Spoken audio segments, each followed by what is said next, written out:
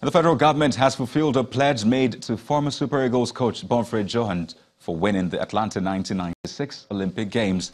The former coach was allocated a house at number 1A and Nokuru Street's prototype housing estate in Abuja. Bonfrere Johan, fondly known as Bonfrere Joe, expressed his appreciation for the gesture, which is coming 24 years after the Nations Cup. Kitchen. And uh, a bedroom. Second bedroom.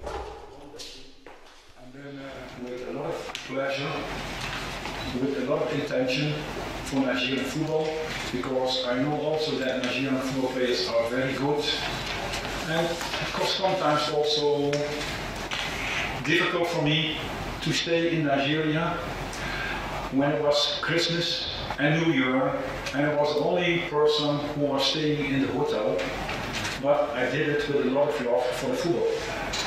I should stay in the hotel alone because we were ready and preparing for the Nations Cup. It's always in the same period. I could not go home. My wife was alone home, shouting to me on the phone, when are you coming home? But I love football and I did it with a lot of pleasure. So I thank you very much, Honourable Minister, that you have done my great pleasure to give me my house.